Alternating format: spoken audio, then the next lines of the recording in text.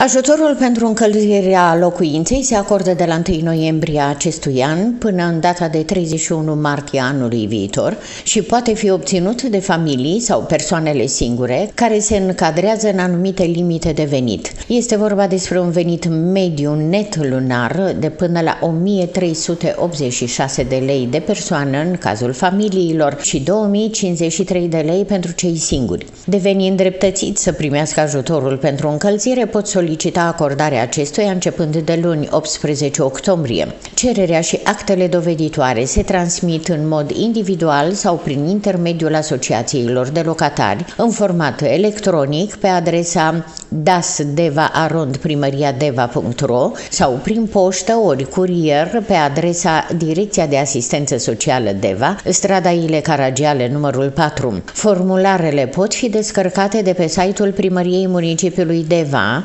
www.primariadeva.ro, secțiunea Direcția de Asistență Socială. Pe lângă ajutorul pentru încălzirea locuinței, persoanele cu venituri mici primesc lunar pe parcursul întregului an și suplimentul pentru energie, cu o valoare cuprinsă între 10 și 30 de lei în funcție de sursa de furnizare a energiei. Dacă singura sursă de energie folosită este energia electrică, valoarea suplimentului este de 70 de lei pe lună. Este de menționat că beneficiarii ajutorului pentru încălzirea locuinței au obligația să comunice Direcției de Asistență Socială DEVA orice modificare cu privire la veniturile și componența familiei în termen de 5 zile de la data la care a intervenit respectiva schimbare. Actele necesare în vederea acordării ajutorului pentru încălzire sunt următoarele. Cerere, declarație pe proprie răspundere pentru acordarea unor drepturi de asistență socială, cerere, declarație pe propria răspundere pentru modificarea cererii de acordare a unor drepturi de asistență socială sau pentru acordarea unor noi drepturi care se completează doar de către persoanele care beneficiază de ajutor social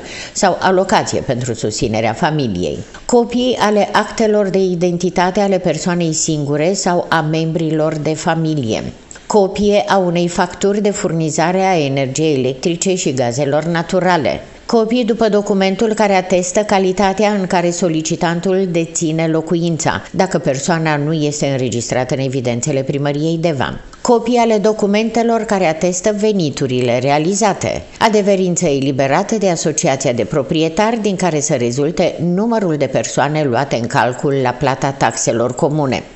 Persoanele care întâmpină dificultăți la completarea cererilor de acordare a ajutorului pentru încălzirea locuinței pot solicita consiliere și sprijin la numerele de telefon 0723 230 106, 0755 878 814 sau 0799 992 311 de luni până joi între orele 8 și 16.30 sau vineri între orele 8 și 14.